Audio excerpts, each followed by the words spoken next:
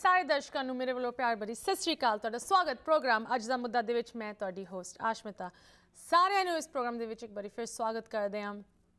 ਅਮ, ਅੱਜ ਮੈਂ ਤੁਹਾਡੇ ਨਾਲ ਇੱਕ ਇਹੋ ਜਿਹਾ ਟੌਪਿਕ ਲੈ ਕੇ ਆਈ ਹਾਂ, ਇੱਕ ਇਹੋ ਜਿਹੇ ਮੁੱਦੇ ਤੇ ਆਪਾਂ ਗੱਲ ਕਰਨੀ ਹੈ, ਜੋ ਮੇਰੇ ਲਈ ਖਾਸ ਕਰਕੇ ਜੋ ਮੇਰੀ ਜਨਰੇਸ਼ਨ ਦੇ, ਮੇਰੇ ਉਮਰ ਦੇ ਤੇ ਮੇਰੇ ਤੋਂ ਯੰਗ ਯੰਗਰ ਲੋਕੀ ਹਨ, ਉਹਨਾਂ ਲਈ ਬਹੁਤ ਵੱਡਾ ਮੁੱਦਾ ਹੈ। ਸ਼ਾਇਦ ਸਭ ਤੋਂ ਵੱਡਾ ਮੁੱਦਾ Um, ਬਟ ਅਨਫੋਰਚੂਨੇਟਲੀ uh, ਇਹ ਜੋ ਸੈਂਟੀਮੈਂਟ ਹੈਗਾ, ਇਹ ਸਾਰੇ ਨਹੀਂ ਫੀਲ ਕਰਦੇ। ਸਾਡੀ ਉਮਰ ਤੋਂ ਜੋ ਛੱਡ ਕੇ ਹੈਗੇ, ਬਾਕੀ ਉਹ ਇਸ ਸੈਂਟੀਮੈਂਟ ਨੂੰ ਇੰਨਾ ਮਹਿਸੂਸ ਨਹੀਂ ਕਰਦੇ, ਇਹਦੀ ਅਰਜੈਂਸੀ ਨੂੰ ਨਹੀਂ ਸਮਝਦੇ। ਉਹ ਅੱਜ ਮੈਂ ਤੁਹਾਨੂੰ ਦੱਸਾਂ ਹੈ ਕਿਉਂ ਇਹ ਮੁੱਦਾ ਸਾਡਾ ਸਾਰਿਆਂ ਦਾ ਹੋਣਾ ਚਾਹੀਦਾ ਐਂਡ ਸਭ ਤੋਂ ਅਰਜੈਂਟ ਸਭ ਤੋਂ ਜ਼ਿਆਦਾ ਫੋਕਸ ਸਭ ਤੋਂ ਜ਼ਿਆਦਾ ਕੰਮ ਇਸ ਮੁੱਦੇ ਤੇ ਹੋਣਾ ਚਾਹੀਦਾ ਹੈ। ਖਾਸ ਕਰਕੇ ਸਰਕਾਰਾਂ ਵੱਲੋਂ ਤੇ ਉਨ ਬਿਜ਼ਨੈਸਸ ਵੱਲੋਂ ਜਿਨ੍ਹਾਂ ਦੇ ਕੋਲ ਰਿਸੋਰਸਸ ਹੈਗੇ ਕੁਝ ਕਰਨ ਲਈ। ਮੈਂ ਗੱਲ ਕਰ ਰਹੀ ਹਾਂ এনवायरमेंट ਦੀ ਵਾਤਾਵਰਣ ਦੀ। ਸ਼ਾਇਦ ਤੁਸੀਂ ਰੀਸੈਂਟ ਹੈਡਲਾਈਨਸ ਵਿੱਚ ਵੇਖਿਆ ਹੋਣਾ ਹੈ ਕਿ ਐਕਸਟ੍ਰੀਮ ਵੈਦਰ ਇੱਕ ਟਰਮ ਇਹ ਬਣ ਚੁੱਕੀ ਹੈ ਐਕਸਟ੍ਰੀਮ ਵੈਦਰ ਕਿਸ ਤਰ੍ਹਾਂ ਹੋਰ ਵੱਧ ਚੜ ਕੇ ਪੂਰੀ ਦੁਨੀਆ ਨੂੰ ਅਫੈਕਟ ਕਰ ਰਿਹਾ ਹੈ। ਭਾਵੇਂ ਵੈਸਟ ਕੋਸਟ ਦੀ ਵਾਈਲਡ ਫਾਇਰਸ ਜੋ ਆਈ نو ਸਾਨੂੰ ਤਾਂ ਹੁਣ ਇਹਨਾਂ ਦੇ ਬਾਰੇ ਸੁਣਦੇ ਹੋਏ ਵੀ ਆਦਤ ਪੈ ਗਈ ਕਿ ਹਾਂ ਵਾਈਲਡ ਫਾਇਰਸ ਹੁੰਦੀਆਂ, ਹਰ ਸਾਲ ਹੁੰਦੀਆਂ। ਬਟ ਇਹ ਨਹੀਂ ਸਵਾਲ ਕਿ ਵਾਈਲਡ ਫਾਇਰਸ ਹੋ ਰਹੀਆਂ ਤੇ ਹੁੰਦੀਆਂ ਵਾਈਲਡ ਫਾਇਰਸ ਹੋਰ ਵੱਡੇ ਲੈਵਲ ਤੇ ਹੋ ਰਹੀਆਂ ਇਨਫੈਕਟ ਇਹ ਫਾਇਰਸ ਇੰਨੀ ਮਾੜੀ ਤਰੀਕੇ ਦੇ ਨਾਲ ਇਸ ਵੇਲੇ ਵੈਸਟ ਕੋਸਟ ਨੂੰ ਰੈਵੇਜ ਕਰੀ, ਜਿਸ ਤਰ੍ਹਾਂ ਤੁਸੀਂ ਸਕਰੀਨ ਤੇ ਵੇਖ ਸਕਦੇ ਹੋ।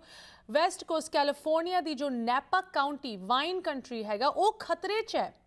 ਵਾਈਨ ਕੰਟਰੀ ਨੈਪਾ ਵੈਲੀ ਜੋ ਇੰਨੇ ਕੁ ਅਮੀਰ ਹਨ, ਉਹਨਾਂ ਤੋਂ ਵੀ ਇਹ ਝੇਲਿਆ ਨਹੀਂ ਜਾ ਰਿਹਾ, ਉਹਨਾਂ ਤੋਂ ਵੀ ਇਹ ਸਾਂਭਿਆ ਨਹੀਂ ਜਾ ਰਿਹਾ, ਜਿੰਨਾ ਕੁ ਡੈਮੇਜ ਉਹਨਾਂ ਨੂੰ ਹੋ ਰਿਹਾ ਹੈ। ਕਰੋੜਾਂ ਦੇ ਮਿਲੀਅਨਸ ਆਫ ਡਾਲਰਸ ਦਾ ਡੈਮੇਜ ਇਨ ਫਾਇਰਸ ਕਰਕੇ।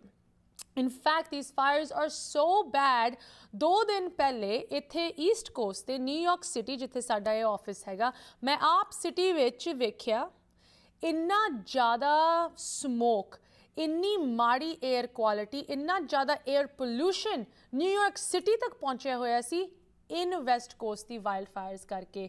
ਜ਼ਰੂਰ ਤੁਸੀਂ ਇਹ ਪਿਕਚਰਾਂ ਵੇਖੀਆਂ ਹੋਣੀਆਂ ਨਿਊਯਾਰਕ ਫਿਲਾਡੈਲਫੀਆ ਟੋਰਾਂਟੋ ਇਹ ਸਾਰੇ ਸ਼ਹਿਰਾਂ ਦੇ ਵਿੱਚ, ਆਮ ਵੈਦਰ ਸਰਵਿਸਿਜ਼ ਨੇ ਇੱਕ ਕਿਸਮ ਦੀ ਵਾਰਨਿੰਗ ਇਸ਼ੂ ਕੀਤੀ ਕਿ ਅਗਰ ਤੁਸੀਂ ਬਾਹਰ ਜਾ ਰਹੇ ਹੋ ਮਾਸਕ ਪਾ ਕੇ ਜਾਓ ਕੋਵਿਡ ਕਰਕੇ ਨਹੀਂ, ਹਵਾ ਕਰਕੇ ਵਾਈਲਡ ਫਾਇਰਸ ਕਰਕੇ, ਉਹਨਾਂ ਦਾ ਧੂਆਂ ਕਰਕੇ।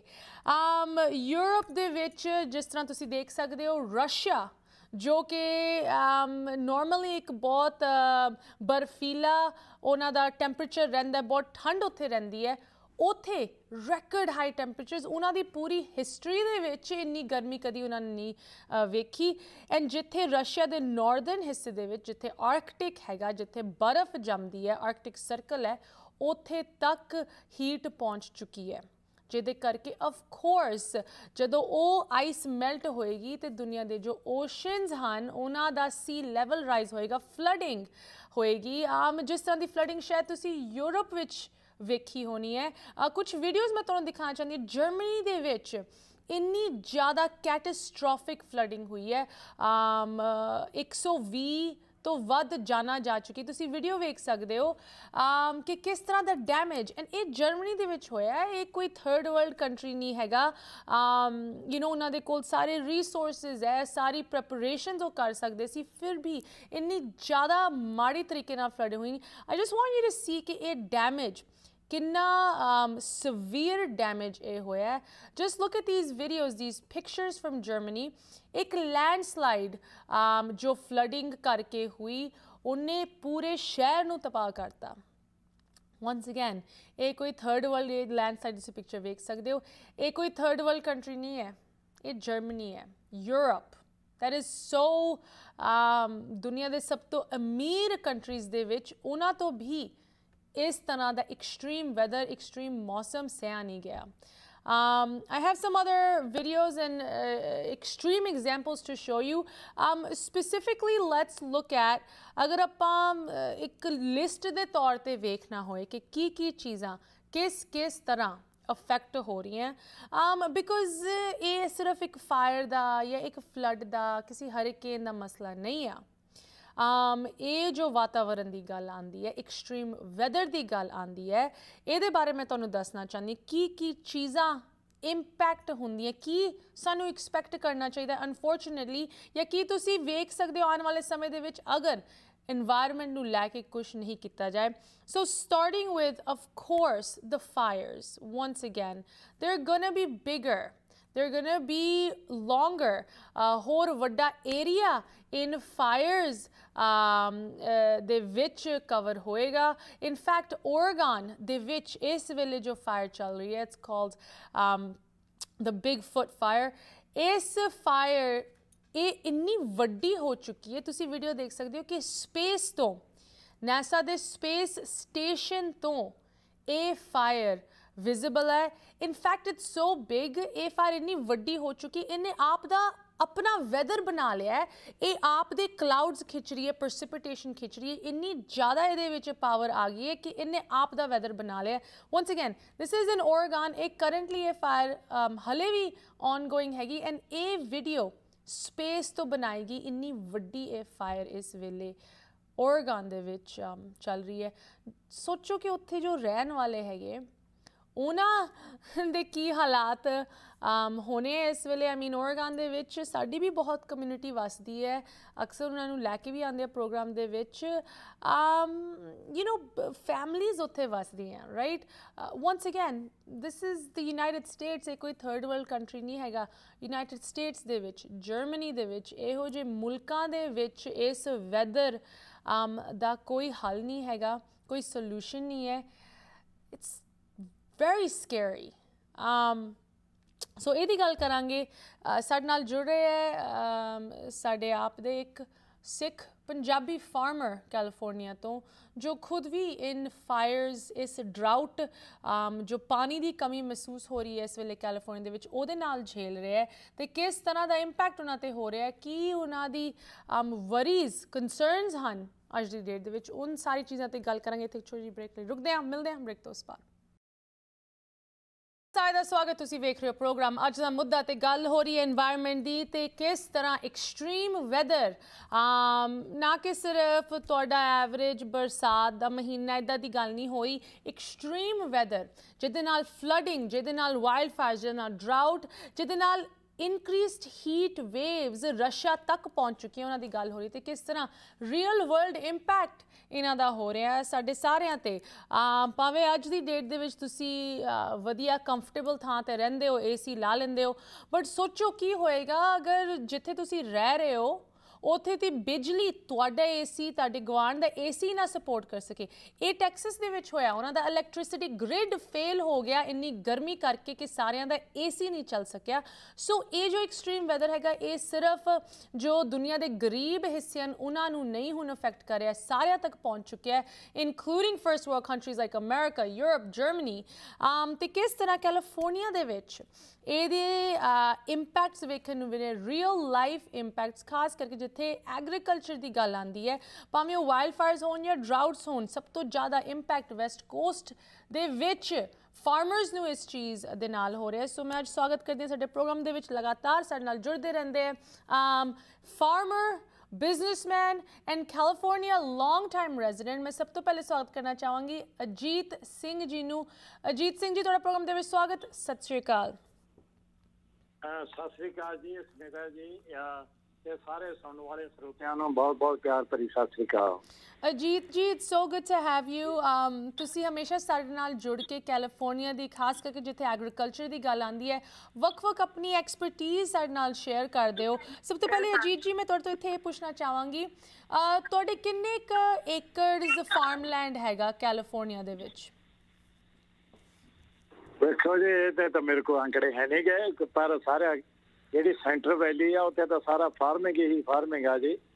ਤੇ ਇਹਦੇ ਤਾਂ ਮੈਂ ਕਹਿ ਨਹੀਂ ਸਕਦਾ, ਪਰ ਇਹ ਤੇ ਬਹੁਤ ਜ਼ਿਆਦਾ ਫਾਰਮਿੰਗ ਹੈ ਨੰਬਰ 1 ਐਨ ਆਲਮੰਡ ਇੰਡਸਟਰੀ ਜਿਹੜੀ ਹੈਗੀ ਆ, ਸਾਰੇ ਦੁਨੀਆ ਦਾ 80% ਇੱਥੇ ਅਸੀਂ ਪ੍ਰੋਡਿਊਸ ਕਰਦੇ ਆ ਹੋਰ ਸਾਰੇ ਜਿੰਨੇ ਵੀ ਫਰੂਟ ਹੁੰਦੇ ਆ, ਇੱਥੇ this biggest I think economy ਜਿਹੜੀ ਹੈਗੀ ਆ, ਜੀ ਜਿਹੜੀ ਅਸੀਂ ਤੋਂ ਇੰਨਾ ਫੂਡ ਪ੍ਰੋਡਿਊਸ ਕਰਦੇ ਹਾਂ, ਸਾਰੀ ਦੁਨੀਆ ਤੇ ਤੇ ਉਹਦੇ ਵਾਸਤੇ ਮੈਂ ਮਾਫੀ ਮੰਗਦਾ ਮੇਰੇ ਕੋਲ। ਅੰਕੜੇ ਹੈ ਨਹੀਂ ਕਿ ਵੀ ਕਿੰਨੇ ਆਏ ਹਾਂਜੀ ਨਹੀਂ ਤੁਹਾਡੇ ਤੁਹਾਡੇ ਆਪ ਦੇ ਸਰ ਤੁਹਾਡੇ ਆਪ ਦੇ ਕਿੰਨੇ I know you have hundreds of acres of farmland ਤੁਹਾਡਾ ਆਪ ਦਾ ਤੁਹਾਡੇ ਬਦਾਮ ਦੇ ਖੇਤ ਹਾਂ ਹੈਗੇ ਹਾਂਜੀ। ਹਾਂਜੀ ਹਾਂਜੀ ਹਾਂਜੀ ਹਾਂਜੀ ਹਾਂਜੀ ਹਾਂਜੀ ਨਹੀਂ ਬਦਾਮ ਹੈਗੇ ਆ ਜੀ ਮੇਰੇ ਕੋਲ ਇਹ ਵੇਲੇ ਤਾਂ ਬਦਾਮਾਂ ਦੇ 300 ਏਕੜ ਆ ਜੀ ਤੇ ਮੇਰੇ ਕੋਲ ਕਮਰਸ਼ੀਅਲ ਵੀ ਹੈਗੀਆਂ ਜਾਂ ਹੋਰ ਮੈਂ ਤਿੰਨ ਚਾਰ ਪਿਛੇ ਸਾਈਟਾਂ ਤੇ ਹੈਗੀਆਂ ਜੀ ਬਿਜ਼ਨਸ ਕਰਦਾ ਜੀ ਕਿਉਂਕਿ ਜੀ। ਡਿਵਰਸਿਫਾਈ ਕਰਨਾ ਚਾਹੁੰਦਾ ਹਾਂਜੀ ਜੀ। ਹਾਂਜੀ ਅਮ। ਅਜੀਤ ਜੀ ਤੁਹਾਡੀ ਇਸ ਵੇਲੇ ਖਾਸ ਕਰਕੇ ਇਸ ਜੋ ਐਕਸਟ੍ਰੀਮ ਵੈਦਰ ਕੈਲੀਫੋਰਨੀਆ ਦੇ ਵਿੱਚ ਵੇਖਣ ਨੂੰ ਮਿਲ ਰਿਹਾ ਹੈ ਅਮ ਭਾਵੇਂ ਉਹ ਡਰਾਊਟ ਹੋਏ ਭਾਵੇਂ ਵਾਈਲਡ ਫਾਇਰਸ ਤੁਹਾਨੂੰ ਕੀ ਝੇਲਣਾ ਪੈ ਰਿਹਾ ਦੀ ਡੇਟ ਦੇ ਵਿੱਚ ਨਹੀਂ ਚੱਲਣਾ ਤਾਂ ਇਹ- ਇੱਕ ਵੀਕ ਪਹਿਲਾਂ ਹੀ ਇੱਥੇ ਨਾ ਕਾਂਗਰਸ ਦੇ ਕਾਂਗਰਸਮੈਨ ਡੇਵਿਡ ਵੈਲਰ ਦੇ ਉਹਦਾ ਕਰੂ ਆਇਆ ਸੀ, ਉਹਨਾਂ ਨੇ ਵੀ ਇਹ ਇਥੋਂ ਬਣਾ ਕੇ ਲੈ ਕੇ ਗਏ ਆ। ਉਹਦੇ ਵਿੱਚ ਮੈਂ ਵੀ ਬੋਲਿਆ ਸੀਗਾ ਕਿ ਇਹ ਜਿਹੜਾ ਡਰਾਊਟ ਆ, ਕਿਵੇਂ ਸਾਡੇ ਤੇ ਇਫੈਕਟ ਕਰਦਾ? ਜਿਵੇਂ ਹਰ ਇੱਕ ਨੇ ਜਿਹਨੇ ਪਾਣੀ ਪੀਣਾ ਤੇ ਜਾਂ ਜਿਹਨੇ ਰੋਟੀ ਖਾਣੀ ਆ ਕਿਸੇ ਤਰ੍ਹਾਂ ਦਾ ਫੂਡ ਖਾਣਾ ਆ ਤੇ ਉਹ ਫਾਰਮਰ ਦਾ ਪ੍ਰੋਡਿਊਸ ਕੀਤਾ ਹੁੰਦਾ ਉਹਦੇ ਹਰ ਇੱਕ ਨੂੰ ਇਫੈਕਟ ਕਰਦਾ ਉਸ ਉਸ ਹਿਸਾਬ ਤੇ। ਕਿਉਂਕਿ ਫਾਰਮਰਾਂ ਦਾ ਚਲੋ ਵੱਡੇ ਪੰਪਾਂ ਦੇ ਜਿਹੜੇ ਹੈਗੇ ਆ ਵੈਲ ਜਿਹੜੇ ਨਾ ਡੀਪ ਹੀ ਹੋਈ ਜਾਂਦੇ ਆ ਤੇ ਜਦੋਂ ਡੀਪ ਹੋਈ ਜਾਂਦੇ ਆ ਤਾਂ ਉਹਨਾਂ ਦਾ ਕੈਮੀਕਲ ਵੀ ਉਹਨਾਂ 'ਚ ਆ ਜਾਂਦੇ ਆ, ਉਹਨਾਂ ਤੇ ਹੋਰ ਵੀ ਖਰਚਾ ਹੁੰਦਾ ਤੇ ਫਿਰ ਕਈਆਂ ਦੇ ਆਊਟ ਆਫ ਰੀਚ ਹੋ ਜਾਂਦੇ ਆ। ਤੇ ਉਹ ਤੋਂ ਗੱਲ ਛੋਟੀ ਲੈ ਲਓ, ਹਰ ਇੱਕ ਦੇ ਰੈਜ਼ੀਡੈਂਸ਼ੀਅਲ ਪੰਪ ਵੀ ਹੁੰਦੇ ਆ, ਕਈ ਛੋਟੇ ਵੀ ਹੁੰਦੇ ਆ ਉਹਨਾਂ ਨੂੰ ਵੀ ਨਵੇਂ ਲਾਉਣੇ ਪੈਂਦੇ, ਉਹਨਾਂ ਦੇ ਵੀ ਆਊਟ ਆਫ ਰੀਚ ਹੋਈ ਜਾਂਦਾ।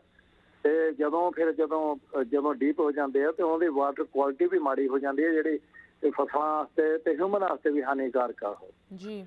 ਉਹਨਾਂ 'ਚ ਕੈਮੀਕਲ ਹੀ ਇਹਨੇ ਮਿਲ ਜਾਂਦੇ ਹਾਂਜੀ। ਜੀ। ਇਸ ਕਰਕੇ ਡਰਾਊਟ ਦਾ ਤਾਂ ਬਹੁਤ ਜ਼ਿਆਦਾ ਅਸਰ ਆ ਜੀ। ਫਾਰਮਿੰਗ ਤੇ ਵੀ ਤੇ ਐਵਰੀਬਾਡੀ ਲਾਈਫ ਤੇ ਅਜੀਤ ਜੀ ਡਰਾਊਟ ਦਾ ਇੱਕ ਇਹ ਵੀ ਸੁਣਨ ਨੂੰ ਮਿਲ ਰਿਹਾ ਹੈ ਕਿ ਤੁਹਾਡੇ ਤੋਂ ਥੋੜਾ ਜਿਹਾ ਹੋਰ ਨਾਰਥ ਜਾ ਕੇ ਤੁਸੀਂ ਸੈਂਟਰਲ ਵੈਲੀ ਚੋਂ ਹੋਰ ਨਾਰਥ ਜਾ ਕੇ ਵਾਈਨ ਕੰਟਰੀ ਆ ਜਾਂਦਾ ਹੈ ਨੈਪਾ ਵੈਲੀ ਆ ਜਾਂਦੀ ਹੈ। ਤੇ ਨੈਪਾ ਵੈਲੀ ਦੇ ਵਿੱਚ ਵੀ ਬਹੁਤ ਹਾਰਡਸ਼ਿਪਸ ਉਹ ਫੇਸ ਕਰੇ ਖਾਸ ਕਰਕੇ ਪਾਣੀ ਦੀ ਕਮੀ ਨੂੰ ਲੈ ਕੇ।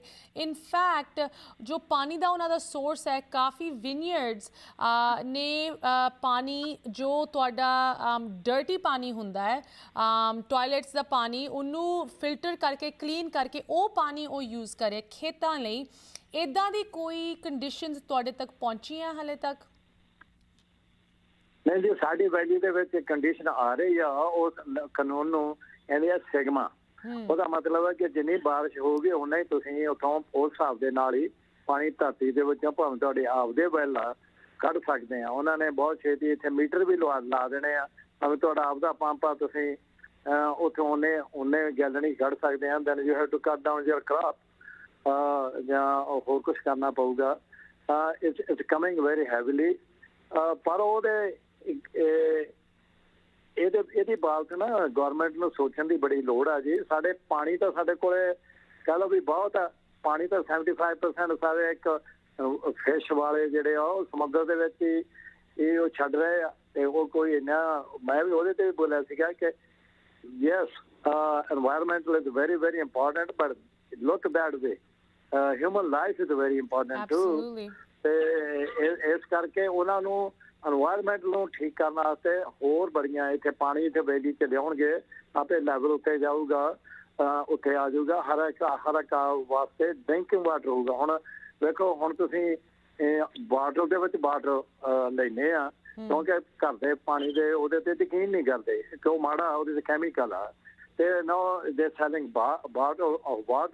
very soon you're going to see they're going to sell you uh, oxygen in the bottle so ਇਹ ਜਿਹੜੇ ਵੱਡੇ ਬੰਦੇ ਹੈਗੇ ਆ ਜਿਹੜੇ ਹੈਗੇ ਆ ਇਹਨਾਂ ਦੀ ਇਹ ਗਲਤ ਸੋਚਣੀ ਆ ਤੇ ਜਿਹੜੇ ਸਾਰਿਆਂ ਨੂੰ ਭੁਗਤਣੀ ਪੈਂਦੀ ਆ need to make a dams and give it more water and a lot of other controls. You can control environmental by electric cars, solar. Mm-hmm. They need of to course. promote all these kind of things. Of and, course. Eh, uh, and the, Ajit Singh ji, ਤੁਸੀਂ ਮੈਨੂੰ ਦੱਸ ਰਹੇ ਸੀ, ਹੁਣੇ ਤੁਸੀਂ honour ਵੀ ਕਿਹਾ ਹੈ ਕਿ ਤੁਹਾਡੇ local elected official elected official David Valadao ਤੁਹਾਡੇ ਕੋਲ ਆਏ ਸੀ ਇਸ ਮਸਲੇ ਤੇ ਤੁਹਾਡਾ ਬਿਆਨ ਲੈਣ ਲਈ। You know of course unfortunately ਇਸ ਮੁੱਦੇ ਤੇ ਜਿੱਥੇ এনवायरमेंट ਵਾਤਾਵਰਣ ਦੀ ਗੱਲ ਆਂਦੀ ਹੈ, ਖਾਸ ਕਰਕੇ ਜਿਸ ਤਰ੍ਹਾਂ ਇਹ ਬਿਜ਼ਨੈਸਸ ਨੂੰ ਇੰਪੈਕਟ ਕਰ ਰਿਹਾ ਹੈ ਐਗਰੀਕਲਚਰ ਨੂੰ ਇੰਪੈਕਟ ਕਰੇ ਇਸ ਚੀਜ਼ ਤੇ ਗਵਰਨਮੈਂਟ ਵੱਲੋਂ ਕੋਈ ਨਾ ਕੋਈ ਲੈਜਿਸਲੇਸ਼ਨ ਕੋਈ ਨਾ ਕੋਈ ਲੀਡਰਸ਼ਿਪ ਜਾਂ ਕੁਝ ਐਕਸ਼ਨ ਵੇਖਣ ਦੀ ਲੋੜ ਹਲੇ ਵੀ ਹੈਗੀ। I want to ask you about that ਕਿ ਲੋਕਲੀ ਤੁਹਾਡੇ ਏਰੀਆ ਦੇ ਵਿੱਚ ਕੀ ਕੁਝ ਹੋ ਰਿਹਾ? ਤੇ ਇੱਕ ਛੋਟੀ ਜਿਹੀ ਬ੍ਰੇਕ ਲਈ ਰੁਕਦੇ ਹਾਂ ਵਿਊਅਰਸ ਇਸ ਤਰ੍ਹਾਂ ਸਾਡੇ ਨਾਲ ਬਣੇ ਹੋ ਜੀ ਜੀ, ਤੁਸੀਂ ਵੀ ਸਾਡੇ ਨਾਲ ਜੁੜੇ ਰਹੋ। ਮਿਲਦੇ ਹਾਂ ਬ੍ਰੇਕ ਤੋਂ ਉਸ ਪਾਰ। ਮੁੜ ਹਾਜ਼ਰ ਹੋਏ ਆ। ਗੱਲ ਹੋ ਰਹੀ ਹੈ এনवायरमेंट ਦੀ ਐਕਸਟ੍ਰੀਮ ਵੈਦਰ ਦੀ। ਤੇ ਕਿਸ ਤਰ੍ਹਾਂ ਅਗਰ ਤੁਸੀਂ ਇਹਦੇ ਬਾਰੇ ਕੁਝ ਕਰਨਾ ਚਾਹੁੰਦੇ ਹੋ ਦ ਫਰਸਟ ਸਟੈਪ ਇਜ਼ ਕਿ ਤੁਸੀਂ ਆਪ ਦੇ ਇਲੈਕਟਿਡ ਅਫੀਸ਼ੀਅਲਸ ਦੇ ਨਾਲ ਮਿਲੋ, ਉਹਨਾਂ ਦੇ ਨਾਲ ਗੱਲ ਕਰੋ। ਉਹਨਾਂ ਤੋਂ ਪੁੱਛੋ ਕਿ ਤੁਸੀਂ ਕੀ ਕਰ ਰਹੇ ਹੋ ਤੇ ਇਸੇ ਤਰ੍ਹਾਂ ਇੱਕ ਵਾਰੀ ਫਿਰ ਮੈਂ ਪ੍ਰੋਗਰਾਮ ਦੇ ਵਿੱਚ ਸਵਾਗਤ ਕਰਦੀ ਹਾਂ ਸਰਦਾਰ ਅਜੀਤ ਸਿੰਘ ਜੀ ਕੈਲੀਫੋਰਨੀਆ ਤੋਂ। ਬਿਗ ਟਾਈਮ ਫਾਰਮਰ ਜੀ ਜੀ ਤੁਹਾਡੇ ਹੰਡਰਡਸ ਆਫ ਏਕਰਸ ਦਾ ਫਾਰਮਲੈਂਡ ਹੈ ਵਕ ਵਕ ਹੋਰ ਵੀ ਤੁਹਾਡੇ ਬਿਜ਼ਨੈਸਸ ਹਨ but most importantly Ajit ji ਤੁਸੀਂ ਆਪ ਦੇ ਲੋਕਲ ਇਲੈਕਟਿਡ ਅਫੀਸ਼ੀਅਲਸ ਦੇ ਨਾਲ ਬਹੁਤ ਕਲੋਜ਼ਲੀ ਕੰਮ ਕਰਦੇ ਹੋ। ਯੂ نو ਭਾਵੇਂ ਉਹ ਬਿਜ਼ਨਸ ਰਿਲੇਟਡ ਕਮਿਊਨਿਟੀ ਰਿਲੇਟਡ ਚੀਜ਼ਾਂ ਹੋਣ।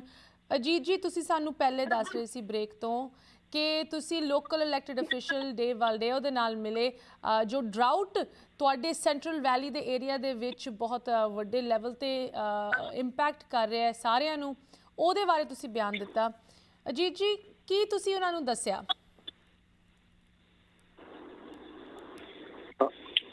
ਫੋਨ ਦੀ ਆਵਾਜ਼ ਹੈ ਨਹੀਂ। ਹਾਂਜੀ ਹਾਂਜੀ ਅੰਕਲ ਅਜੀਤ ਸਿੰਘ ਜੀ ਤੁਸੀਂ ਮੈਨੂੰ ਸੁਣ ਪਾ ਰਹੇ ਹਾਂਜੀ। ਤੁਸੀਂ ਵਲਡੇਓ ਜੀ ਨੂੰ ਤੁਸੀਂ ਕੀ ਦੱਸਿਆ ਡਰਾਊਟ ਦੀ ਕੰਡੀਸ਼ਨਸ ਬਾਰੇ? ਡਰਾਊਟ ਦੀ ਜੋ ਕੰਡੀਸ਼ਨ ਤੇ ਮੈਂ ਦੱਸਾਂਗਾ ਇੱਕ ਦੋ ਹੋਰ ਜਿਹੜੇ ਇੱਥੇ ਫਾਰਮਰ ਸੀ ਉਹਨਾਂ ਨੂੰ ਵੀ ਸੱਦਿਆ। ਜੀ। ਵੀ ਤੁਸੀਂ ਆਪਦੇ ਵੀ ਵਿਚਾਰ ਦਿਓ ਉਹਨਾਂ ਨੇ ਦਿੱਤੇ। ਵਿਚਾਰ ਤਾਂ ਇਹ ਹੈ ਜੀ ਤੇ ਦਿਸ ਇਜ਼ ਆਬਵੀਅਸ ਕਿ ਇਹਨਾਂ ਡਰਾਊਟ ਹੋਈ ਜਾਂਦਾ ਪਾਣੀ ਥੱਲੇ ਤੁਰ ਜਾਂਦਾ ਜਿੰਨਾ ਵੀ ਮੈਂ ਪਹਿਲਾਂ ਹੀ ਕਹਿ ਚੁੱਕਿਆ, ਜਿੰਨਾ ਅਸੀਂ ਸਾਡੇ ਵੇਖੋ natural resources water and air should be free and should be drinkable and breathable ਤੇ ਇਹ ਹੋਣੇ ਚਾਹੀਦੇ ਉਹਨਾਂ ਤੇ ਗਵਰਨਮੈਂਟ ਨੂੰ ਤੇ ਹਰ ਇੱਕ ਨੂੰ ਹੀ। ਕੱਲਾ ਗਵਰਨਮੈਂਟ ਨੂੰ ਮੈਂ ਇੱਥੇ ਕਹਿੰਦਾ ਹਰ ਇੱਕ ਨੂੰ ਉਹਦੇ ਬਾਰੇ ਸੋਚਣਾ ਚਾਹੀਦਾ। ਹਰ ਇੱਕ ਨੇ ਬਰੀਦ ਕਰਨਾ ਤੇ ਹਰ ਇੱਕ, ਜੇ ਤੁਹਾਡੇ ਘਰ ਦੇ ਹਾਊਸ ਹੋਲਡ ਵੀ ਆ ਤੁਸੀਂ ਜੇ ਡਰਾਊਟ ਹੋਊਗਾ ਪਾਣੀ ਦੀ ਕਿੱਲਤ ਹੋ ਤੁਹਾਡਾ ਵਾਟਰ ਬਿੱਲ ਵੀ ਤੁਹਾਡਾ ਵਧੀ ਜਾਣਾ ਤੇ ਕੰਡੀਸ਼ਨਾਂ ਲੱਗੀ ਜਾਣੀਆਂ।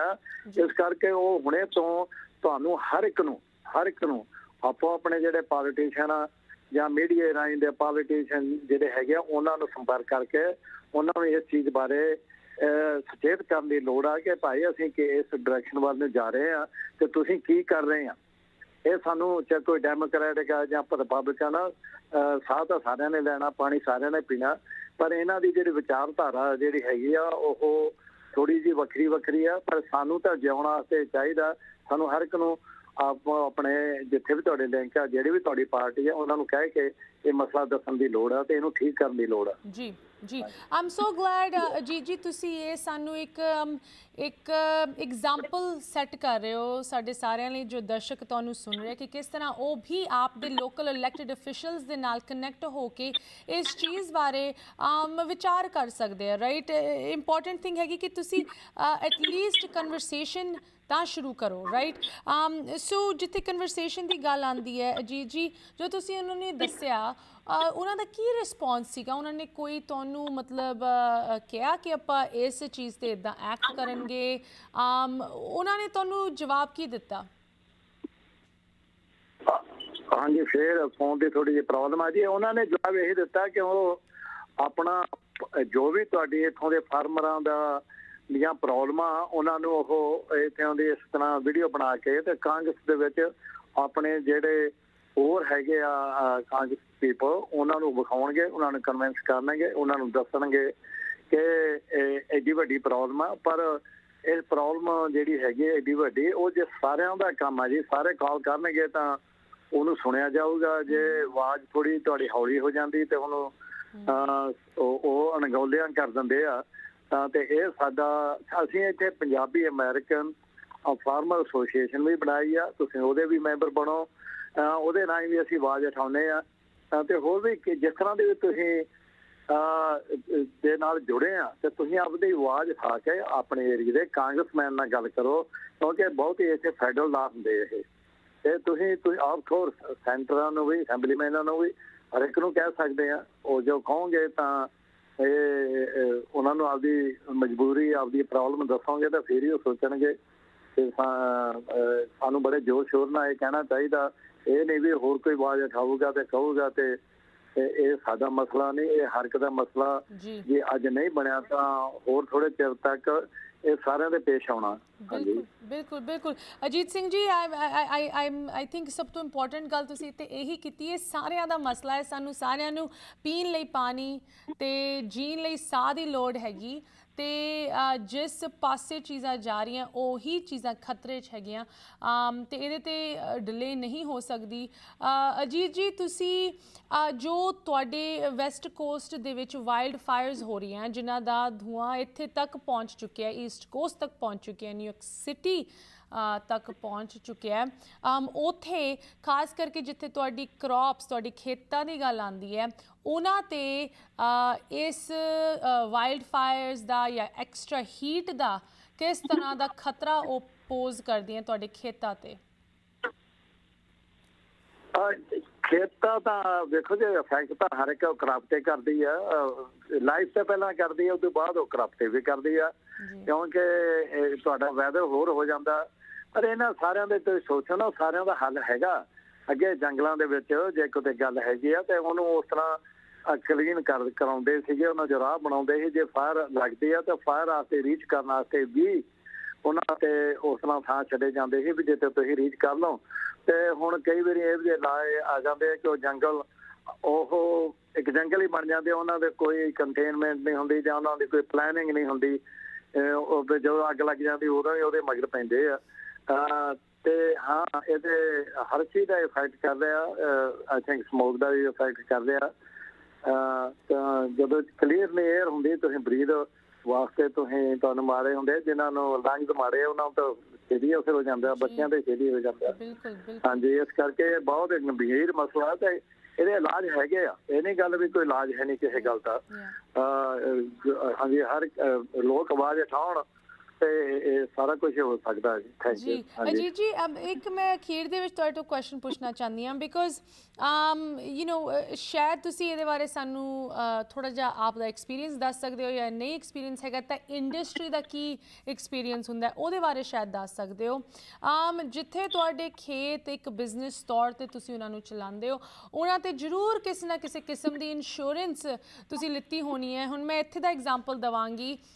ਨਿਊਯਾਰਕ ਦੇ ਵਿੱਚ ਈਸਟ ਕੋਸਟ ਦੇ ਵਿੱਚ ਜਦੋਂ ਬਹੁਤ ਵੱਡਾ ਹਰੀਕੇਨ ਆਇਆ ਸੀ ਕੁਝ ਸਾਲ ਪਹਿਲੇ ਸੈਂਡੀ ਜਿਹਦੇ ਕਰਕੇ ਬਹੁਤ ਜ਼ਿਆਦਾ ਫਲੱਡਿੰਗ ਹੋਈ ਸੀ, ਲੋਕਾਂ ਦੇ ਘਰ ਬਰਬਾਦ ਹੋ ਗਏ ਸੀ, ਟੁੱਟ ਗਏ ਸੀ। ਉਸ ਤੋਂ ਬਾਅਦ ਇੱਥੇ ਦੇ ਜੋ ਹੋਮ ਓਨਰਸ ਇੰਸ਼ੋਰੈਂਸ ਕੰਪਨੀਆਂ ਸੀਗੀਆਂ, ਉਹਨਾਂ ਨੇ ਫਲੱਡਿੰਗ ਦੀ ਇੰਸ਼ੋਰੈਂਸ ਬਹੁਤ ਮਹਿੰਗੀ ਕਰਤੀ ਜਾਂ ਦੇਣੀ ਹੀ ਛੱਡਤੀ ਕਿ ਇਸ ਏਰੀਆ ਦੇ ਵਿੱਚ ਤੁਸੀਂ ਰਹਿ ਰਹੇ ਹੋ, ਅਸੀਂ ਤੁਹਾਨੂੰ ਨਹੀਂ ਇੰਸ਼ੋਰ ਕਰਨਾ ਕਿਉਂਕਿ ਇਹ ਬਿਲਕੁਲ ਸੇਫ ਨਹੀਂ ਹੈ Um, ਆਮ ਇਦਾਂ ਦੀ ਕੋਈ ਚੀਜ਼ ਤੁਸੀਂ ਐਕਸਪੀਰੀਅੰਸ ਕਰ ਰਹੇ ਹੋ ਕਿ ਬਿਜ਼ਨਸ ਤੌਰ ਤੇ ਤੁਹਾਨੂੰ ਇੰਸ਼ੋਰੈਂਸ ਪੱਖੋਂ ਕੋਈ ਡਿਫਿਕਲਟੀਜ਼ ਆ ਰਹੀਆਂ ਬਿਕੋਜ਼ ਵੈਦਰ ਭਾਵੇਂ ਉਹ ਡਰਾਊਟ ਹੋਏ ਫਾਇਰਸ ਹੋਣ, ਇਸ ਤਰ੍ਹਾਂ ਇਨਕਰੀਜ਼ ਹੋ ਰਿਹਾ? ਹੈ ਹਾਂਜੀ ਫੋਨ ਦੇ ਅੱਗੇ ਫੇਰ ਪ੍ਰੋਬਲਮ ਆ ਗਈ ਵੇਖੋ ਇੰਸ਼ੋਰੈਂਸ ਤਾਂ ਅਸੀਂ ਆਲ ਵੈਦਰ ਦਾ ਇੰਸ਼ੋਰੈਂਸ ਵੀ ਕਰਾਉਂਦੇ ਆ ਕਿ ਜਦੋਂ ਸਾਡੀ ਫਸਲ ਪੱਕਣ ਹਾਂਜੀ ਮੇਰੇ ਖਿਆਲ ਫੋਨ ਕੱਟਿਆ ਗਿਆ ਜੀ ਨਹੀਂ ਨਹੀਂ ਅੰਕਲ ਤੁਸੀਂ ਔਨ 에ਅਰ ਔਨ 에ਅਰ ਅਸੀਂ ਤੁਹਾਨੂੰ ਸੁਣ ਪਾ ਰਹੇ ਹਾਂ। ਹਾਂਜੀ ਇੰਸ਼ੋਰੈਂਸ ਬਾਰੇ ਤੁਸੀਂ ਦੱਸ ਰਹੇ ਸੀ। ਹਾਂ ਹਾਂਜੀ। ਉਹਦੀ ਗੱਲ ਇਹ ਹੈ ਆਲ ਇੰਸ਼ੋਰੈਂਸ ਜਿਹੜੀ ਪ੍ਰਾਪਰਟੀ ਹੁੰਦੀ ਨੇ ਕਈ ਤਰ੍ਹਾਂ ਦੀ ਹੁੰਦੀ ਆ। ਇੱਕ ਆਲ ਵੈਦਰ ਵੀ ਹੁੰਦੀ ਆ ਕਿ ਜੇ ਤੁਸੀਂ ਫਸਲ ਪੱਕਿਆ ਤੇ ਕੋਈ ਗੜੇ ਗੁੜੇ ਪੈ ਗਏ ਜਾਂ ਲੱਗਦੇ ਆ ਤੇ ਪਿਛਲੇ ਸਾਲ ਦਾ ਕ੍ਰੌਪ ਕਿੰਨਾ ਸੀ ਉਸ ਹਿਸਾਬ ਦੇ ਨਾਲ ਤੁਹਾਨੂੰ ਇੰਸ਼ੋਰੈਂਸ ਉਹ ਕਵਰ ਕਰਦੀ ਹੈ ਤੁਹਾਨੂੰ ਪਹਿਲੇ ਪ੍ਰੋਡਕਸ਼ਨ ਵਿਖਾਉਣੀ ਪੈਂਦੀ ਹੈ ਵੀ ਤੁਹਾਡੀ ਕਿੰਨੀ ਸੀਗੀ। ਤੇ ਅਜੇ ਤਾਈਂ ਤਾਂ ਕੋਈ ਏਡੀ ਪ੍ਰੋਬਲਮ ਨਹੀਂ ਆਈ ਸਾਡੇ ਏਰੀਆ ਦੇ ਵਿੱਚ। ਜੇ ਫਿਊਚਰ ਦੇ ਵਿੱਚ ਇਹ ਸਮੋਕ ਜਾਂ ਇਹਨਾਂ ਅਸਰ ਹੋਣ ਲੱਗ ਪਿਆ ਤਾਂ ਸ਼ਾਇਦ ਉਹ ਦੇ can maybe increase the premium so ਜਾਂ ਉਹਦੀ ਕਵਰੇਜ ਵੀ ਘਟਾ ਦਿੰਦੇ ਪ੍ਰੀਮੀਅਮ ਵੀ ਵਧਾ ਦਿੰਦੇ ਆ। So every company is for to making the profit so ਜੇ ਇਸ ਤਰ੍ਹਾਂ ਦਾ ਨਾ ਸੋਚਿਆ ਤੇ ਫਾਰਮਰਾਂ ਤੇ ਹੋਰ ਹੈਵੀ ਹੋਊਗਾ ਜੀ। ਹਾਂਜੀ ਉਹਨਾਂ ਦੇ ਉਹਨਾਂ ਦਾ ਜਿਹੜਾ ਹੈਗਾ Armada, the Pella, they have a hard time to make it, even right now. So, mm. uh, it's everything should be balanced.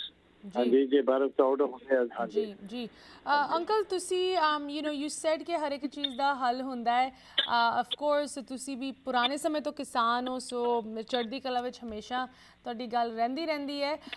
But ਜੀ ਜੀ ਮੈਂ ਇੱਥੇ ਜ਼ਰੂਰ ਪੁੱਛਣਾ ਚਾਹਾਂਗੀ you know just in closing uh what actual legislation ਤੁਸੀਂ expect ਕਰਦੇ ਹੋ? ਗਵਰਨਮੈਂਟ ਦੇ ਵਿੱਚ ਕਿਹੋ ਜਿਹੇ ਕਾਨੂੰਨ ਬਣਨੇ ਚਾਹੀਦੇ ਆ ਤਾਂ ਕਿ ਵਾਤਾਵਰਣ ਨੂੰ ਲੈ ਕੇ ਕੋਈ ਇੰਪਰੂਵਮੈਂਟਸ ਹੋਣ ਕੋਈ ਐਕਸ਼ਨ ਹੋਏ? ਵੇਖੋ ਜੀ ਨੰਬਰ 1 ਇਸ ਵੈਲੀ ਦੀ ਮੈਂ ਗੱਲ ਕਰ ਸਕਦਾ। ਸਾਡੇ ਕੋਲ ਪਲੈਂਟੀ ਵਾਟਰ ਆ ਜਿਹੜਾ ਕਿ ਅਸੀਂ ਉਹਨੂੰ ਤਾਂ ਸਮੁੰਦਰ ਵਿੱਚ ਸੈਟ ਰਹੇ ਉਹਨੂੰ ਰੀਇਵੈਲੂਏਟ ਕਰਨ ਦੀ ਲੋੜ ਆ। ਕਿ ਜਿਹੜੀਆਂ ਹੋਰ ਕਿੰਨੀਆਂ ਚੀਜ਼ਾਂ এনवायरमेंटਲ ਦੇ environmental people yes we are environmental too ਕਿ ਹੋਰ ਕਿੰਨੀਆਂ ਚੀਜ਼ਾਂ ਦੇ ਵਿੱਚ ਅਸੀਂ ਚੇਂਜ ਲਿਆ ਕੇ ਜਿਵੇਂ ਮੈਂ ਪਹਿਲਾਂ ਹੀ ਗੱਲ ਕੀਤੀ ਆ ਸਮੋਕ ਦੀ ਵੀ। ਦੂਜੀ ਗੱਲ ਇੱਕ ਹੋਰ ਵੀ ਹੈ ਕਈ ਵਾਰੀ ਮੁੱਦਾ ਆਉਂਦਾ ਕਿ ਇੱਕ ਜਿਹੜੀ ਧਰਤੀ ਆ ਜਾਂ ਇੱਕ ਘਰ ਜੇ ਤੁਸੀਂ ਚਾਰ ਬੈਡਰੂਮ ਦਾ ਬਣਾਇਆ ਤੇ ਉੱਥੇ ਪੰਜ ਛੇ ਘਰ ਹੀ ਜੀ ਹੀ ਰਹਿ ਸਕਦੇ ਆ। ਇਸੇ ਤਰ੍ਹਾਂ ਸਾਰੀ ਦੁਨੀਆ ਦੀ ਆਬਾਦੀ ਨੂੰ ਵੀ ਸੋਚਣਾ ਪਊਗਾ ਕਿ ਜਿਸ ਹਿਸਾਬ ਨਾਲ ਵਧ ਰਹੀ ਆ ਤੇ ਧਰਤੀ ਤਾਂ ਸਾਰੀ ਦੁਨੀਆ ਤੇ ਹੋਣੀ ਆ ਉਹਨੂੰ ਅਸੀਂ ਕਿਵੇਂ ਕੰਟਰੋਲ ਕਰਨਾ? ਜੀ। ਨੰਬਰ 1 ਫਿਰ ਜਿਹੜਾ ਵਾਟਰ ਦਾ ਡਿਸਟ੍ਰੀਬਿਊਸ਼ਨ ਆ ਉਹ ਅਸੀਂ ਕਿਵੇਂ ਕਰਨਾ? ਕਈਆਂ ਥਾਂ ਤੇ ਇੱਥੇ ਵੀ ਹੜ ਆਉਂਦੇ ਆ ਉਹ ਪਾਣੀ ਅਸੀਂ ਇੱਥੇ ਕਿਵੇਂ ਲਿਆਉਣਾ? ਹਾਂਜੀ ਜਾਂ ਹੋਰ ਵੀ ਕਈ ਜਿਹੜਾ ਮੀਂਹ ਹੁੰਦਾ ਉਹਨੂੰ ਪਾਣੀ ਨੂੰ ਕਿਵੇਂ ਸਟੋਰ ਕਰਨਾ ਪੋਲੂਸ਼ਨ ਤੇ ਇਹ ਤਾਂ ਇਹ ਕਾਨੂੰਨ ਲਿਆਉਣ ਦੀ ਲੋੜ ਆ। ਇਹਨਾਂ ਤੇ ਕਾਨੂੰਨ ਤਾਂ ਹੀ ਆਉਣਗੇ ਜੇ ਹਰ ਇੱਕ ਆਵਾਜ਼ ਇਹ ਉਠਾਊਗਾ। ਇਹ ਛੋਟੀ ਮੋਟੀ ਆਵਾਜ਼ ਨਾਲ ਨਹੀਂ ਕਾਨੂੰਨ ਬਦਲਦੇ ਹੁੰਦੇ। ਬਹੁਤ you have to make a big loud voice ਇਹ ਦੇਖੋ ਪ੍ਰੋਬਲਮ ਆ ਰਹੀ ਆ। ਕੋਈ ਇਸੇ ਵਾਸਤੇ ਸੰਸੀਅਰ ਹੋਵੇ ਜਾਂ ਨਾ ਹੋਵੇ ਤੇ ਜਿਹੜੇ ਸੈਂਸਿਟਿਵ ਲੋਕ ਆ ਉਹ ਤਾਂ ਬਹੁਤ ਚਿਰ ਦੇ ਸੋਚ ਰਹੇ ਆ ਇਹ ਇਥੇ ਡੈਮ ਬਣਾਉਣ ਦੇ ਤਾਂ 10 ਸਾਲ ਦੀ ਪਲਾਨ ਚੱਲ ਰਹੀ ਆ ਪਰ ਉਹ ਸਿਰੇ ਨਹੀਂ ਚੜ ਸਕੀ ਅਜੇ ਤੱਕ ਕਦੇ ਕੋਈ ਸਟੱਡੀ ਹੁੰਦੀ ਹੈ ਕਦੇ ਕੋਈ ਸਟੱਡੀ ਹੁੰਦੀ ਹੈ uh the too they need to think go on to the ground zero and look at the situation and then make the decision ਜੀ ਮੇਰੇ ਹਾਂਜੀ ਜੀ ਤੁਸੀਂ ਜੇ ਅਸੀਂ ਆਵਾਜ਼ ਉਠਾਵਾਂਗੇ ਤੇ ਜੀ। ਜੇ ਅਸੀਂ ਆਵਾਜ਼ ਉਠਾਵਾਂਗੇ ਤਾਂ ਜ਼ਰੂਰ ਕੰਮ ਹੋਊਗਾ ਬਿਲਕੁਲ ਬਿਲਕੁਲ। ਅਜੀਤ ਸਿੰਘ ਜੀ ਕੈਲੀਫੋਰਨੀਆ ਸੈਂਟਰਲ ਵੈਲੀ ਤੋਂ ਸਾਡੇ ਨਾਲ ਜੁੜੇ ਹਨ। Thank you so much Ajit ji. ਤੁਸੀਂ ਆਪ ਦਾ ਐਕਸਪੀਰੀਅੰਸ ਇੰਡਸਟਰੀ ਦਾ ਐਕਸਪੀਰੀਅੰਸ ਤੇ ਕੀ ਐਕਚੁਅਲ ਕਦਮ ਅਸੀਂ ਚੁੱਕ ਸਕਦੇ ਹਾਂ ਇੱਕ ਇੰਡੀਵਿਜੂਅਲ ਹੋਣ ਦੇ ਨਾਤੇ ਤਾਂ ਕਿ ਇਸ ਪਾਸੇ ਕੋਈ ਨਾ ਕੋਈ ਕੰਮ ਹੋਏ ਸਾਡੇ ਇਲੈਕਟਿਡ ਅਫੀਸ਼ੀਅਲਸ ਤੋਂ। ਇੱਕ ਵਾਰੀ ਫਿਰ ਪੰਜਾਬੀ ਅਮਰੀਕਨ ਫਾਰਮਰਸ ਐਸੋਸੀਏਸ਼ਨ ਦੇ ਨਾਲ ਵੀ ਤੁਸੀਂ ਸਾਰਿਆਂ ਨੂੰ ਅਰਜ ਕੀਤਾ ਕਿ ਉਹ ਜੁੜਨ। Ajit ji have a good rest of evening Sat Sri Akal and stay safe Sat Sri Akal ji. Thank you ji thank you um ਇਹਦੇ ਨਾਲ ਇੱਕ ਹੋਰ ਛੋਟੀ ਜਿਹੀ ਬ੍ਰੇਕ ਰੁਕਦੇ ਹਾਂ। ਬ੍ਰੇਕ ਤੋਂ ਬਾਅਦ ਗੱਲ ਇਸ ਤਰ੍ਹਾਂ ਜਾਰੀ ਰਹੇਗੀ। ਮਿਲਦੇ ਹਾਂ ਬ੍ਰੇਕ ਤੋਂ ਬਾਅਦ।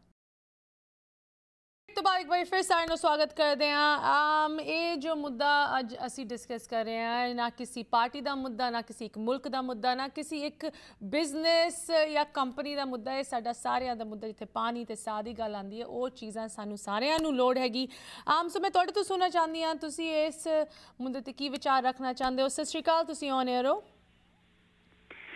ਸਤਿ ਸ਼੍ਰੀ ਅਕਾਲ ਜੀ ਸਤਿ ਸ਼੍ਰੀ ਅਕਾਲ ਜੀ ਕੌਣ ਬੋਲ ਰਹੇ ਹੋ ਕਿੱਥੋਂ ਬੋਲ ਰਹੇ ਹੋ ਹਾਂਜੀ ਮੈਂ ਗੁਲਿੰਦਰ ਗਿੱਲ ਸੈਕਰਾਮੈਂਟੋ ਕੈਲੀਫੋਰਨੀਆ ਦੇ ਸਵਾਗਤ ਤੁਹਾਡਾ। ਗੁਲਿੰਦਰ ਜੀ ਦੱਸੋ ਤੁਸੀਂ ਕੀ ਸਾਡੇ ਨਾਲ ਸ਼ੇਅਰ ਕਰਨਾ ਚਾਹੁੰਦੇ ਹੋ? ਹਾਂਜੀ ਤੁਸੀਂ ਤਿੰਨ ਮੁੱਦਿਆਂ ਤੇ ਗੱਲ ਕਰੀਏ। ਇੱਕ ਤਾਂ ਆਪਣੀ ਕਲਾਈਮੇਟ ਚੇਂਜ ਵੈਦਰ ਜਿਹੜੀਆਂ ਅੱਗਾਂ ਲੱਗ ਰਹੀਆਂ ਤੇ ਨੰਬਰ 2 ਤੇ ਤੁਸੀਂ ਗੱਲ ਕਰਦੇ ਸੀ ਆਪਣੇ ਪਾਣੀ ਦੀ ਡੈਲਟਾ ਡਿਸਟ੍ਰਿਕਟ ਤੇ ਨੰਬਰ 3 ਜਿਹੜੀ ਸੈਂਟਰਲ ਵੈਲੀ ਦੀ ਐਗਰੀਕਲਚਰ ਦੀ। ਇਹ ਤਿੰਨਾਂ ਚੀਜ਼ਾਂ ਵੈਸੇ ਬੜੀਆਂ ਪੋਲੀਟੀਕਲੀ ਸੈਂਸਿਟਿਵ ਚੀਜ਼ਾਂ ਨੇ। ਜੀ। ਜਿਵੇਂ ਕਿ ਆਪਾਂ ਫਾਇਰ ਦੀ ਗੱਲ ਕਰਦੇ ਆ ਅੱਗਾਂ ਲੱਗਣ ਦੀ, ਅੱਗਾਂ ਤਾਂ ਕਰੋੜਾਂ ਸਾਲਾਂ ਤੋਂ ਲੱਗਦੀਆਂ ਆਈਆਂ ਜੰਗਲ ਦੇ ਵਿੱਚ ਕੋ ਜੰਗਲ ਰੀਜਨਰੇਟਿਵ ਤਦ ਹੁੰਦਾ ਅੱਗ ਤੋਂ ਬਾਅਦ ਨਵਾਂ ਨਵਾਂ ਜੰਗਲ ਬਣਦਾ। ਤੇ ਹੁਣ ਆਪਾਂ ਕੀ ਕਰਦੇ ਆ ਅੱਗ ਮੋਸਟਲੀ ਲਾਈਟਨਿੰਗ ਨਾਲ ਲੱਗਦੀਆਂ ਹੁਣ ਵੀ ਲਾਈਟਨਿੰਗ ਨਾਲ ਹੀ ਲੱਗਦੀਆਂ ਜਿਆਦੇ। ਤੇ ਫਿਰ ਆਪਾਂ ਉਹਨੂੰ ਬੰਦ ਉਹਨੂੰ ਬੰਦ ਕਰ ਲੈਨੇ ਆ ਉੱਪਰ ਪਾਣੀ ਪਾ ਪਾ ਕੇ ਉਹਨੂੰ ਮੱਚਣ ਨਹੀਂ ਦਿੰਦੇ ਫਿਰ ਉਹ ਜਿਹੜਾ ਫਿਊਲ ਆ ਉਹ ਇਕੱਠਾ ਹੁੰਦਾ ਰਹਿੰਦਾ ਉਹਨੇ ਕਦੇ ਤਾਂ ਮੱਚਣਾ।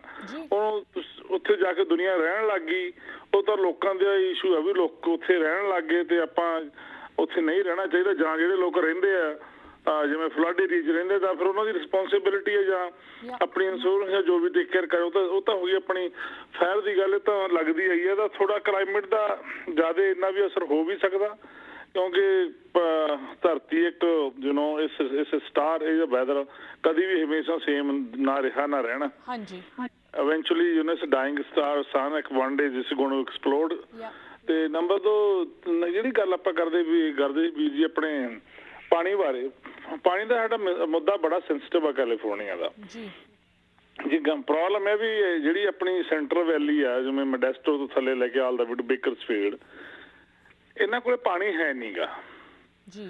ਜਿਹੜਾ ਦਰਿਆਵਾਂ ਦਾ ਪਾਣੀ ਹੈ ਨਹੀਂ ਤੇ ਥੱਲਿਓਂ ਪਾਣੀ ਆਲਮੋਸਟ ਕੱਢ ਕੱਢ ਕੇ ਜਿਵੇਂ ਆਪਣੇ ਇੰਡੀਆ ਵਾਲੀ ਪੰਜਾਬ ਵਾਲੀ ਪ੍ਰੋਬਲਮ ਆ ਇੱਥੇ ਆ 600 ਫੁੱਟ ਤੇ ਪਾਣੀ ਚਲਾ ਗਿਆ ਹੁਣ।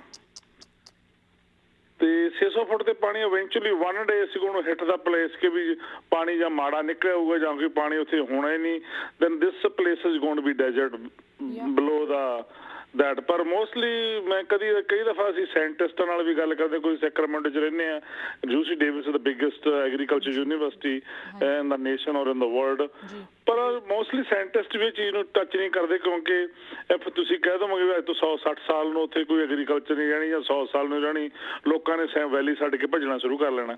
ਬਿਲਕੁਲ।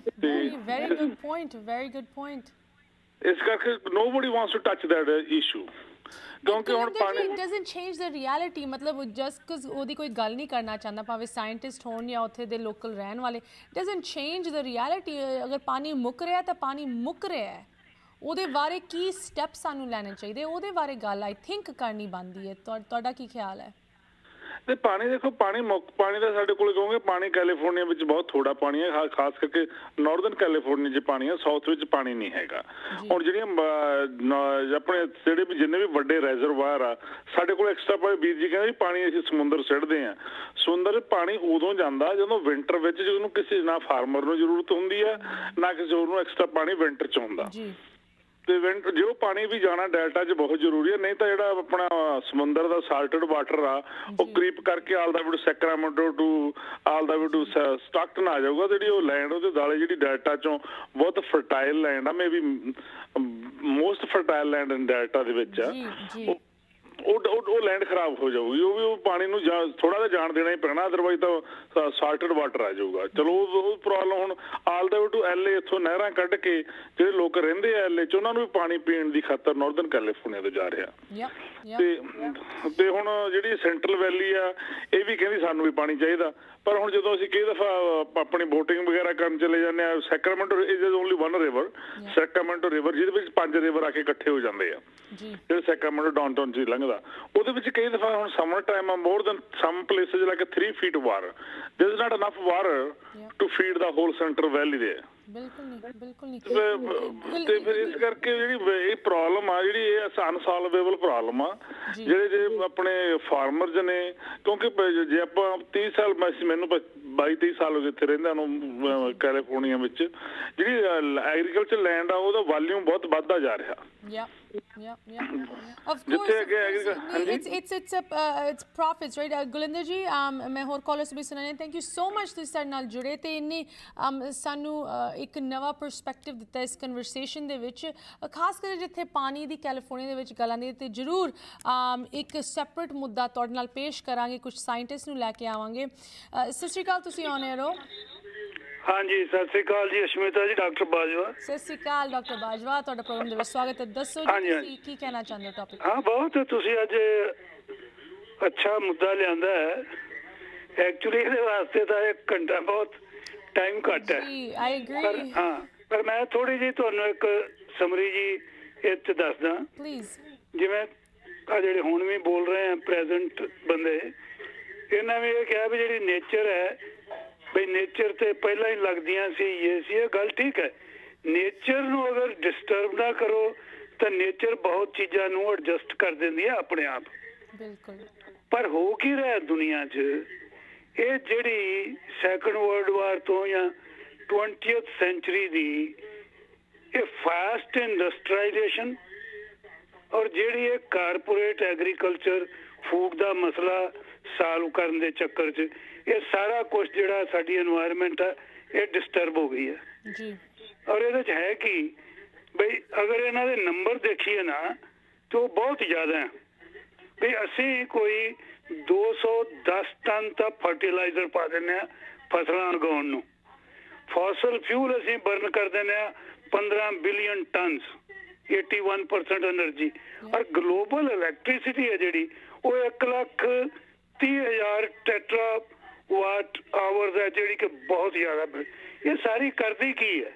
ਇਹ ਜਿਹੜਾ ਐਗਰੀਕਲਚਰ ਜਦੋਂ ਫਰਟੀਲਾਈਜ਼ਰ ਬਣਾਉਂਦੇ ਆ ਇਹ ਹਵਾ ਦੇ ਵਿੱਚੋਂ ਨਾਈਟ੍ਰੋਜਨ ਖਿੱਚ ਲੈਂਦੇ ਆ under temperature control and pressure ਔਰ ਉਹਦੇ ਨਾਲ ਇੰਨੀ ਕੁ ਦੁਨੀਆ ਦੀ 2% ਇਲੈਕਟ੍ਰਿਸਿਟੀ ਉਹਨੂੰ ਪ੍ਰੋਡਿਊਸ ਕਰਨ ਨੂੰ ਲੱਗਦੀ ਆ। ਫਿਰ ਉਹ ਜਾ ਕੇ ਇੰਨੇ ਟਨ ਬਣਦੇ ਉਹਦੇ ਨਾਲ ਇਹ ਸਾਰਾ ਕੁਝ ਜਦੋਂ ਫਸਲਾਂ 'ਚ ਪਏਗਾ ਉਹਦੇ ਨਾਲ ਇਹਦੀ ਹੋ ਜਾਣੀ ਆ ਜਿਹਨੂੰ ਆਪਾਂ ਗ੍ਰੀਨ ਹਾਊਸ ਇਫੈਕਟ ਕਹਿੰਦੇ ਆ। ਗ੍ਰੀਨ ਹਾਊਸ ਤੋਂ ਬਾਅਦ ਗਲੋਬਲ ਵਾਰਮਿੰਗ ਜਿਹੜਾ ਆਕਸੀਜਨ ਓਜ਼ੋਨ ਸਰਕਲ ਉਹ ਜਿਹੜਾ ਉਹ ਖਰਾਬ ਹੋ ਜਾਂਦਾ ਔਰ ਉਹਦੇ ਨਾਲ ਔਨ ਟਾਪ ਆਫ ਇਟ ਅਸੀਂ billions of ton solid waste burn ਕਰਦੇ ਆ ਜਿਵੇਂ ਹੁਣ ਇੰਡੀਆ ਅਕਤੂਬਰ ਨਵੰਬਰ 'ਚ ਪਰਾਲੀ ਦਾ ਸਿਸਟਮ ਆ ਜਾਏਗਾ ਸਾਰੀ ਦੁਨੀਆ 'ਚ ਹੋ ਰਿਹਾ। ਸੋ ਸਾਨੂੰ ਕਰਨਾ ਕੀ ਚਾਹੀਦਾ ਹੈ ਕਿ ਸਾਨੂੰ ਥੋੜੇ ਜੇ ਉਹ ਸਿਸਟਮ ਬਣਾਉਣੇ ਚਾਹੀਦੇ ਆ ਜਿਹਦੇ ਨਾਲ ਸਾਡੀ ਹਵਾ ਕਲੀਨ ਰਵੇ ਪਾਣੀ ਜਿਹੜਾ ਸਾਡਾ ਉਹ ਬਚੇ। ਹੁਣ ਪਾਣੀ ਦਾ ਬਹੁਤ ਹੀ ਥੋੜਾ ਅੱਗੇ ਵੀ ਇੱਕ ਦਿਨ ਕਿਤੇ ਗੱਲ ਹੋਈ ਸੀ ਕਿ ਸਾਡੇ ਕੋਲ ਅਵੇਲੇਬਲ ਵਾਟਰ ਸਿਰਫ 0.5% ਹੈ। ਯੂਜ਼ੇਬਲ ਹਾਂਜੀ ਫਰੈਸ਼ ਹਾਂਜੀ ਯੂਜ਼ੇਬਲ ਤਾਂ ਇਸ ਕਰਕੇ ਇਹ ਬੜੀਆਂ ਚੀਜ਼ਾਂ ਹੈ। ਔਰ ਜਿਹੜੀ ਵੇਖੋ ਹੁਣ ਕਲਾਈਮੇਟ ਪੈਰਿਸ ਅਕਾਰਡ ਹੋਈ ਹੈ। ਔਰ ਕਈ ਲੋਕ ਉਥੋਂ ਆਪਣੇ ਫੀਟ ਡਰੈਗ ਕਰ ਰਹੇ ਹਨ ਸਪੈਸ਼ਲੀ ਸਾਡੀ ਜਿਹੜੀ ਪੁਰਾਣੀ ਐਡਮਿਨਿਸਟ੍ਰੇਸ਼ਨ ਸੀਗੀ, ਉਹ ਕਹਿੰਦੇ ਆ ਵੀ ਕਲਾਈਮੇਟ ਚੇਂਜ ਰੀਅਲ ਨਹੀਂ ਕਲਾਈਮੇਟ ਚੇਂਜ ਇਜ਼ ਰੀਅਲ ਔਰ ਇਹਨੂੰ ਸਾਨੂੰ ਕੰਟਰੋਲ ਕਰਨਾ ਪਏਗਾ। ਨਹੀਂ ਤਾਂ ਦੁਨੀਆ ਦਾ ਬਹੁਤ ਨੁਕਸਾਨ ਹੋਏਗਾ ਲੋਕਾਂ ਦਾ। ਨੁਕਸਾਨ ਹੋ ਰਿਹਾ ਡਾਕਟਰ ਬਾਜਵਾ ਜੀ ਨੁਕਸਾਨ ਹੋ ਰਿਹਾ thank you so much thank you so much ਤੁਸੀਂ ਸਾਡੇ ਨਾਲ ਜੁੜੇ। ਨੁਕਸਾਨ ਹੋ ਰਿਹਾ ਹੈ ਇਹ ਕੋਈ ਹੁਣ ਫਿਊਚਰ ਦੀ ਗੱਲ ਨਹੀਂ ਰਹੀ ਕਿ ਆਉਣ ਵਾਲੇ ਸਮੇਂ ਦੇ ਵਿੱਚ ਇਹ ਹੋਏਗਾ ਉਹ ਹੋਏਗਾ। ਇਹ ਕਰੰਟ ਟਾਈਮਸ ਦੇ ਵਿੱਚ ਹੋ ਰਿਹਾ ਹੈ। ਮੈਂ ਤੁਹਾਡੇ ਨਾਲ ਕਿੰਨੀ ਪਿਕਚਰਾਂ ਸ਼ੇਅਰ ਕੀਤੀਆਂ ਕਿੰਨੀ ਹੈਡਲਾਈਨਸ ਸ਼ੇਅਰ ਕੀਤੀਆਂ ਇਹ ਸਾਨੂੰ ਸਾਰਿਆਂ ਨੂੰ ਅਫੈਕਟ ਕਰ ਰਿਹਾ ਦੁਨੀਆ ਦੇ ਅਮੀਰ ਤੋਂ ਅਮੀਰ ਮੁਲਕਾਂ ਨੂੰ ਅਫੈਕਟ ਕਰ ਰਿਹਾ ਹੈ। ਸਤਿ ਸ਼੍ਰੀ ਅਕਾਲ ਤੁਸੀਂ ਔਨ 에ਅਰ ਹੋ? ਹਾਂਜੀ ਅਸ਼ਮਿਤਾ ਜੀ ਸਤਿ ਸ਼੍ਰੀ ਅਕਾਲ। ਸਤਿ ਸ਼੍ਰੀ ਅਕਾਲ ਜੀ ਕੌਣ ਬੋਲ ਰਹੇ ਹੋ? ਕਿੱਥੋਂ ਬੋਲ ਰਹੇ ਹੋ? ਮੈਂ ਰਾਜ ਬੋਲ ਰਿਹਾ ਜੀ। ਸਵਾਗਤ ਤੁਹਾਡਾ ਰਾਜ ਜੀ ਦੱਸੋ। ਹਾਂਜੀ ਮੈਂ ਦੇਖ ਰਿਹਾ ਟਾਪਿਕ ਇੰਨਾ ਬੜਾ ਹੀ ਸੀਰੀਅਸ ਟਾਪਿਕ ਹੈਗਾ এনवायरमेंट ਦਾ। ਤੇ ਵੱਡੇ ਵੱਡੇ ਕੰਟਰੀ ਇਹਦੇ ਵਿੱਚ ਇਹਦੇ ਘੇਰੇ 'ਚ ਆ ਗਏ ਹੈ ਸਾਡਾ ਅਮਰੀਕਾ ਦੇ ਲੈ ਲਓ। ਰਿਪਬਲਿਕਨ ਵਾਲੇ ਦੇਖੋ ਬਿਲਕੁਲ ਕੇਅਰ ਨਹੀਂ ਕਰ ਰਹੇ। ਹੋ ਮਜ਼ਾਕ ਸਮਝ ਰਹੇ ਇਸ ਚੀਜ਼ ਨੂੰ। ਦੁਨੀਆ ਖਤਮ ਹੋ ਰਹੀ ਹੈ ਜਿਤਨੀ ਇੰਨੀ ਤਬਾਹੀ ਹੋ ਰਹੀ ਹੈ। ਦੇਖੋ ਇੱਕ ਤੇ ਚੀਜ਼ ਮੇਨ ਚੀਜ਼ ਹੈ ਲੋਕਾਂ ਨੂੰ ਮਕਾਨ ਜੰਗਲ ਸਾਰੇ ਕੱਟ ਕੱਟ ਰਹੇ ਹੈ। ਉਹਦੇ ਨਾਲ ਬੜਾ ਫ਼ਰਕ ਪੈ ਰਿਹਾ ਹੈ। ਜੀ ਜੀ। ਬਿਲਡਿੰਗਾਂ ਬਣਾ ਰਹੇ ਹੈ। ਤੇ ਜੇ ਇਸ ਤਰ੍ਹਾਂ ਡਰਾਟ ਵੱਧਦਾ ਗਿਆ ਵੱਧਦਾ ਗਿਆ ਤੇ ਖੁਰਾਕ ਜਿਹੜੀ ਖਾਣਾ ਪੀਣਾ ਉਹ ਵੀ ਮਿਲਣਾ ਮੁਸ਼ਕਲ ਹੋ ਜਾਏਗਾ। ਜੀ। ਤੇ ਗ੍ਰਿਡ ਤੁਸੀਂ ਜਿਹੜੀ ਇਲੈਕਟ੍ਰਿਕ ਗ੍ਰਿਡ ਦੀ ਉਹਦੀ ਤੇ ਗੱਲ ਕੀਤੀ ਹੈ ਕਿ ਕਿੰਨੀ ਮਤਲਬ ਕਿ ਮੁਸ਼ਕਲ ਚ ਆ ਗਈ ਹੈ। ਤੇ ਕੀ ਹੋਏਗਾ ਫਿਊਚਰ ਮੈਨੂੰ ਲੱਗਦਾ ਵੀ 25 ਸਾਲ ਜੇ ਤੱਕ ਇਹਨਾਂ ਨੇ ਕੋਈ ਠੋਸ ਕਰਮ ਨਹੀਂ ਲੱਗਿਆ। ਜਰਮਨੀ ਦਿਖਾ ਰਹੇ ਸੀ ਹੋਰ ਕੰਟਰੀਆਂ ਦਿਖਾ ਰਹੇ। ਚਲੋ ਅੰਡਰਵਰਲਡ ਕੰਟਰੀ ਜਿਹੜੇ ਇੰਡੀਆ ਵਾਲੇ ਚਲੋ ਤਾਂ ਬਹੁਤ ਪਿੱਛੇ ਹੈਗੇ। ਉਹਨਾਂ ਵਿਚਾਰਿਆਂ ਕੋਈ ਇੰਨੀ ਸਾਧਨ ਨਹੀਂ ਹੈਗੇ। ਸਾਡੇ ਵੱਡੇ ਕੰਟਰੀਆਂ ਇੰਨੇ ਸਾਧਨ ਹੈਗੇ ਕੁਝ ਵੀ ਨਹੀਂ ਕਰ ਰਹੇ। ਇਹਨਾਂ ਨੂੰ ਬੜਾ ਸੀਰੀਅਸ ਹੋ ਕੇ ਇਸ ਚੀਜ਼ ਦੇ ਬਾਰੇ ਸੋਚਣਾ ਚਾਹੀਦਾ ਹੈ ਕਿ ਸਾਡੀ ਜਿਹੜੀ ਨੈਕਸਟ ਜਨਰੇਸ਼ਨ ਹੈ ਉਹਨਾਂ ਨੂੰ ਕਿਸ ਤਰ੍ਹਾਂ ਬਚਾ ਸਕੀਏ? Absolutely absolutely thank you thank you so much ਤੁਹਾਡੀ ਕਾਲ ਲਈ। This is exactly it um ਇਹ ਹੁਣ ਕੋਈ ਇਦਾਂ ਦੀ ਗੱਲ ਨਹੀਂ ਰਹਿ ਗਈ ਕਿ ਚਲੋ ਜੀ 100 ਸਾਲਾਂ ਬਾਅਦ ਜੋ ਵੀ ਹੋਏਗਾ ਦੇਖਾ ਜਾਏਗਾ ਅਸੀਂ ਤਾਂ ਇੱਥੇ ਨਹੀਂ ਹੋਣਾ। ਇਹ ਤਾਂ ਸਾਡੀ ਅਗਲੀ ਪੀੜ੍ਹੀ ਦੀ ਗੱਲ um ਅੱਜ ਕਰ ਰਹੇ ਹਾਂ ਜੋ ਸਾਡੇ ਨਿੱਕੇ ਨਿੱਕੇ ਬੱਚੇ ਹੁਣ ਜੋ ਪੈਦਾ ਹੋ ਰਹੇ ਉਹਨਾਂ ਦਾ ਕੀ ਫਿਊਚਰ ਹੋਏਗਾ? ਉਹਨਾਂ ਲਈ ਕਿਸ ਤਰ੍ਹਾਂ ਦੀ ਧਰਤੀ ਹੋਏਗੀ ਜਿੱਥੇ ਉਹਨਾਂ ਨੇ ਰਹਿਣਾ ਹੈ? ਸਤਿ ਸ਼੍ਰੀ ਅਕਾਲ ਤੁਸੀਂ ਔਨ 에ਅਰ ਹੋ।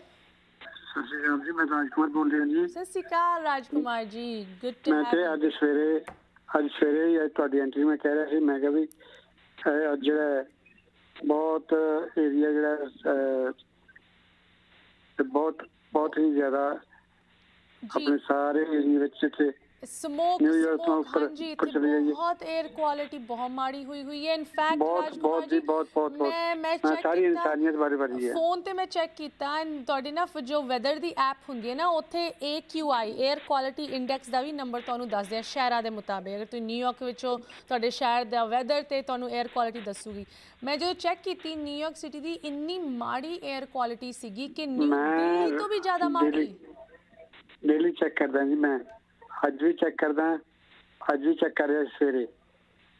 ਜਦੋਂ ਮੈਂ ਚੈੱਕ ਕਰਦਾ ਮੈਨੂੰ ਬਹੁਤ ਹੋਈ ਹੁੰਦੀ ਹੈ ਕਿ ਮੇਰਾ ਬਸ Punjabi should be alive oh will be fine Rajkumar ji ਸਾਨੂੰ ਕੁਝ ਨਹੀਂ ਹੁੰਦਾ ਸਾਨੂੰ ਚੜ੍ਹਦੀ ਕਲਾ ਚ ਰੱਬ ਰੱਖਦਾ ਹੈ ਤੇ ਥੈਂਕ ਯੂ ਸੋ ਮਚ ਮੇਰੀ ਅਸ਼ਮਤਾ ਹੈ। Thank you thank you so much Rajkumar ਮੇਰੀ ਅਸ਼ਮਤਾ ਬਹੁਤ ਪਿਆਰੀ ਬਹੁਤ ਪਿਆਰੀ ਧੀ ਹੈ thank you it's always good to have you thank you so much ਤੁਸੀਂ ਕਾਲ ਕਰਕੇ ਸਾਡੇ ਨਾਲ ਜੁੜੇ। um, ਮੈਂ ਜਾਣਦੇ ਅੰਦਰ ਸਿਰਫ ਪ੍ਰੋਗਰਾਮ ਦੀ ਸਮਾਪਤੀ ਇਸ ਹੀ ਮੈਸੇਜ ਨਾਲ ਕਰਨਾ ਚਾਹੁੰਦੀ ਹਾਂ ਸਾਡੇ ਕਾਲਰਸ ਜਿਨ੍ਹਾਂ ਨੇ ਬਹੁਤ ਸੁਲਝੇ ਹੋਏ ਵਿਚਾਰ ਸਾਡੇ ਨਾਲ ਸਾਂਝੇ ਕੀਤੇ। ਅਜੀਤ ਸਿੰਘ ਜੀ ਨੇ ਸਾਨੂੰ ਦੱਸਿਆ ਕਿ ਇਸ ਮੁੱਦੇ ਤੇ ਸਾਨੂੰ ਸਾਰਿਆਂ ਨੂੰ ਅੱਜ ਹੀ ਇੱਕ ਅਰਜੈਂਟ ਤਰੀਕੇ ਦੇ ਨਾਲ, ਤੇਜ਼ੀ ਦੇ ਨਾਲ ਤੇ ਮੈਂ ਕਹਾਂਗੀ ਪੈਸ਼ਨ ਦੇ ਨਾਲ ਆਪ ਦੇ ਲੋਕਲ ਅਫੀਸ਼ੀਅਲਸ ਨੂੰ ਦੱਸਣਾ ਪੈਣਾ ਕਿ ਇਹ ਮੁੱਦਾ ਸਾਨੂੰ ਅਫੈਕਟ ਕਰਦਾ ਹੈ। ਭਾਵੇਂ ਅੱਜ ਤੁਹਾਡਾ ਏਸੀ ਚੰਗਾ ਚੱਲ ਰਿਹਾ ਹੈ, ਤੁਹਾਡੇ ਕੋਲ ਪਾਣੀ ਹੈ ਪੀਣ ਲਈ ਸਾਹ ਲੈਣ ਲਈ, ਹਵਾ ਹੈਗੀ ਕਾਈਂਡ ਆਫ ਸਾਫ਼ ਸੁਥਰੀ ਡਸਨਟ ਮੀਨ ਕਿ ਕੱਲ ਉਹ ਉਸੇ ਤਰ੍ਹਾਂ ਰਹੇਗੀ। ਤੁਹਾਡੀ ਅਗਲੀ ਜਨਰੇਸ਼ਨ ਲਈ ਉਹ ਉੱਥੇ ਹੋਏਗੀ। ਅੱਜ ਦੀ ਡੇਟ ਦੇ ਵਿੱਚ ਕਿੰਨੀ ਤੇਜ਼ੀ ਦੇ ਨਾਲ ਚੀਜ਼ਾਂ ਡਿਟੀਰੀਅਰੇਟ ਹੋ ਰਹੀਆਂ, ਸਾਰੇ ਸਾਇੰਟਿਸਟ ਕਹਿੰਦੇ ਆ। ਜਿਸ ਤਰ੍ਹਾਂ ਕੋਲਰ ਨੇ ਵੀ ਕਿਹਾ ਕਿ ਜੋ ਇਹ ਵਾਈਲਡ ਫਾਇਰਸ ਹਨ, ਹਾਂ, ਇਹ ਤਾਂ ਨਾਰਮਲ ਹੈ, ਇਹ ਇੱਕ ਨੈਚੁਰਲ ਕੋਰਸ ਵਿੱਚ ਚੱਲਦੀਆਂ ਬਟ ਸਾਰੇ ਸਾਇੰਟਿਸਟ ਇਸ ਚੀਜ਼ ਤੋਂ ਹੈਰਾਨ ਹਨ ਕਿ ਇਹ ਵਾਈਲਡ ਫਾਇਰਸ ਇੰਨੇ ਵੱਡੇ ਲੈਵਲ ਤੇ ਵੇਖਣ ਨੂੰ ਮਿਲ ਰਹੀ ਕਿ ਇਹਨਾਂ ਨੂੰ ਕੰਟਰੋਲ ਕਰਨਾ, ਜਿੱਥੇ ਪਹਿਲੇ ਉਹ ਹੁੰਦੀ ਸੀ, ਆਪ ਹੋ ਕੇ ਮੁੱਕ ਜਾਂਦੀ ਸੀ ਜਾਂ ਕੰਟਰੋਲ ਹੋ ਜਾਂਦੀ, ਅੱਜ ਦੀ ਡੇਟ ਵਿੱਚ ਉਹ ਕੰਟਰੋਲ ਨਹੀਂ ਹੋ ਰਹੀਆਂ। ਜਿੰਨੀ ਤੇਜ਼ੀ ਦੇ ਨਾਲ ਉਹ ਵੱਧ ਹੈ ਜਿੱਥੇ ਲੋਕ ਰਹਿੰਦੇ ਆ ਵਸਦੇ ਆ ਉਹਨਾਂ ਨੂੰ ਖਤਰਾ ਹੈਗਾ। ਅਗਰ ਤੁਸੀਂ ਇਨਕਰੀਸਿੰਗ ਟੈਂਪਰੇਚਰਸ ਦੀ ਗੱਲ ਲੈ ਲਓ, ਜਿਸ ਤਰ੍ਹਾਂ ਰਸ਼ੀਆ ਦੇ ਵਿੱਚ ਇੰਨੀ ਗਰਮੀ ਪੈ ਗਈ ਹੈ ਸਾਇੰਟਿਸਟ ਨੂੰ ਇਹ ਨਹੀਂ ਸਮਝ ਲੱਗ ਰਹੀ ਕਿ ਇੰਨੀ ਤੇਜ਼ੀ ਦੇ ਨਾਲ ਇਹ ਕਿਸ ਤਰ੍ਹਾਂ ਹੋ ਰਿਹਾ ਹੈ ਕਿ ਹਾਂ, ਉਹਨਾਂ ਦੇ ਪ੍ਰੋਜੈਕਸ਼ਨ ਸੀਗੀਆਂ ਕਿ ਅਗਲੇ 25 50 ਸਾਲਾਂ ਦੇ ਵਿੱਚ 100 ਸਾਲਾਂ ਦੇ ਵਿੱਚ ਇਹੋ ਜੀ ਚੀਜ਼ ਹੋਏਗੀ। ਜੋ ਚੀਜ਼ 100 ਸਾਲਾਂ ਦੇ ਵਿੱਚ ਹੋਣੀ ਸੀ, ਉਹ ਅੱਜ ਹੋ ਰਹੀ ਹੈ ਤੇ ਅਗਲੇ 25 ਸਾਲਾਂ ਦੇ ਵਿੱਚ ਕੀ ਹੋਏਗਾ? ਅਗਲੇ 100 ਸਾਲਾਂ ਦੇ ਵਿੱਚ ਕੀ ਹੋਏਗਾ? ਉਹ ਤਾਂ ਦੋ ਜਨਰੇਸ਼ਨ ਦੀ ਆਪਾਂ ਗੱਲ ਕਰ ਰਹੇ ਆ ਉਹਨਾਂ ਲਈ ਕਿਸ ਤਰ੍ਹਾਂ ਦੀ ਅਰਥ ਆਪਾਂ ਛੱਡ ਕੇ ਜਾ ਰਹੇ ਆ ਤੇ ਉਹਨਾਂ ਦੇ ਲਈ, ਉਹਨਾਂ ਦੇ ਫਿਊਚਰ ਲਈ ਅਗਰ ਤੁਸੀਂ ਕੁਝ ਕਰਨਾ ਚਾਹੁੰਦੇ ਹੋ, ਜਰੂਰ ਆਪ ਦੇ ਇੰਡੀਵਿਜੂਅਲ ਲੈਵਲ ਤੇ ਆਪਣੇ ਬਿਜ਼ਨਸ ਤੌਰ ਤੇ ਅਗਰ ਤੁਹਾਡੇ ਰਿਲੇਸ਼ਨਸ਼ਿਪਸ ਹੈਗੇ ਇਲੈਕਟਿਡ ਅਫੀਸ਼ੀਅਲਸ ਨੂੰ ਦੱਸੋ ਕਿ এনवायरमेंट ਸਾਡਾ ਸਾਰਿਆਂ ਦਾ ਮੁੱਦਾ ਹੈ। ਇਸ ਚੀਜ਼ ਤੇ ਸਾਨੂੰ ਐਕਸ਼ਨ ਚਾਹੀਦਾ ਹੈ। ਬਾਈਪਾਰਟਿਸਨ ਭਾਵੇਂ ਤੁਸੀਂ ਰਿਪਬਲਿਕਨ ਹੋ ਡੈਮੋਕ੍ਰੈਟ ਹੋ ਇੰਡੀਅਨ ਹੋ ਅਮਰੀਕਨ ਹੋ ਕੈਨੇਡੀਅਨ ਹੋ, ਇਹ ਚੀਜ਼ ਕੋਈ ਬਾਰਡਰ ਕੋਈ ਪਾਰਟੀ ਨਹੀਂ ਰੈਕਗਨਾਈਜ਼ ਕਰਦੀ। ਸੋ ਤੁਸੀਂ ਵੀ ਇਹਨੂੰ ਆਪ ਦਾ ਮੁੱਦਾ, ਆਪ ਦੇ ਨੈਕਸਟ ਜਨਰੇਸ਼ਨ ਦਾ ਮੁੱਦਾ ਬਣਾ ਕੇ ਜਰੂਰ ਇਹਦੇ ਤੇ ਐਕਸ਼ਨ ਲਵੋ। ਇਸ ਟੌਪਿਕ ਤੇ, ਇਸ ਸ਼ੋਅ ਤੇ ਸਾਡੇ ਲਈ ਕੋਈ ਕੁਐਸਚਨਸ ਕਮੈਂਟਸ ਕਨਸਰਨਸ ਤੁਸੀਂ ਜ਼ਰੂਰ ਸਾਨੂੰ ਲਿਖ ਸਕਦੇ ਹੋ। info@justbroadcasting.com ਆਸ਼ਮਿਤਾ@justbroadcasting.com ਹੁਣ ਦਿਓ ਇਜਾਜ਼ਤ। ਸਤਿ ਸ੍ਰੀ ਅਕਾਲ।